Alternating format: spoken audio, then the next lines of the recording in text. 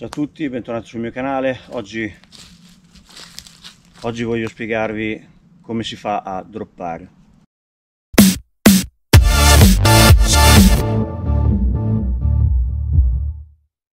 So che ci sono già un sacco di tutorial su YouTube o comunque online, vedo di spiegarvelo un po' a modo mio per vedere se magari riesco a togliere qualche dubbio a chi ancora non ha capito bene come si fa ad affrontare un drop.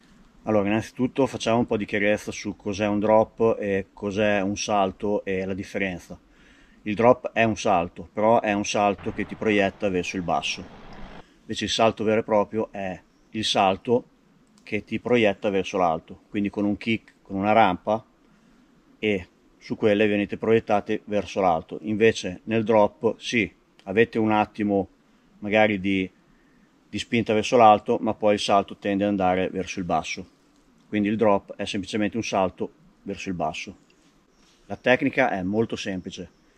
Semplicemente sulla rampa si approccia un manual, ovvero dovete fare in modo che prima che la ruota esca dalla rampa inizi già a salire, quindi dovete tirare sull'anteriore e l'anteriore deve stare alto fino a quando la ruota posteriore non esce dal drop, ok?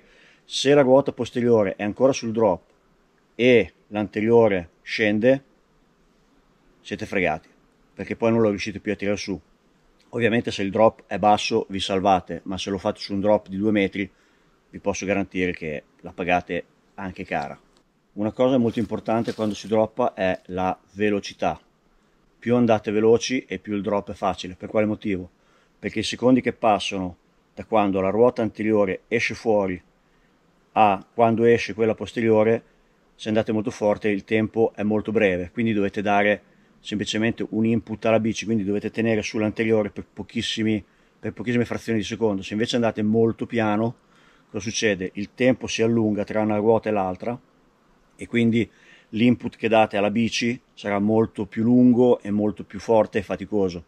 Quindi cercate di andare sempre abbastanza veloci sui drop perché risulteranno anche molto più facili. Per imparare potete fare due semplici esercizi che sono quello di posizionare due oggetti, due punti di riferimento, uno un po' lontano dall'altro e poi cosa fare? Quando si arriva sul primo si solleva l'anteriore e si cerca di arrivare fino al secondo. Quando ci riuscite ovviamente dovete piano piano in maniera progressiva allontanare il secondo oggetto di riferimento, ok? Può essere un cinesino, un birillo, un sasso, quello che volete L'importante è che abbiate due punti di riferimento da dove partire e da dove finire. Quindi, aiutandovi col peso, state indietro con sedere, spalle, testa, alzate l'anteriore e cercate di arrivare fino al secondo punto di riferimento, ok?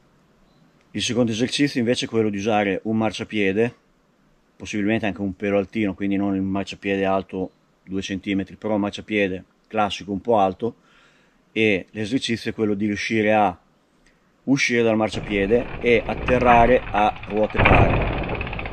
Ok quindi si tiene su l'anteriore fino a quando la ruota posteriore non esce e si atterra a ruote pari. Sarebbe gioco provare con tante velocità. Ovviamente più piano andate più il livello di difficoltà si alza e meglio lo imparate. Per quale motivo? perché dovete tenere l'anteriore alto per più tempo. Quindi allenatevi anche su questa cosa su l'andare forte e l'andare piano perché poi ci sono dei drop che vanno affrontati con velocità basse e anche lì bisogna saper fare. Allora ragazzi, in sostanza è questo. Quando si esce, quando si arriva sulla rampa, si tira sul davanti fino a quando quella dietro non è uscita.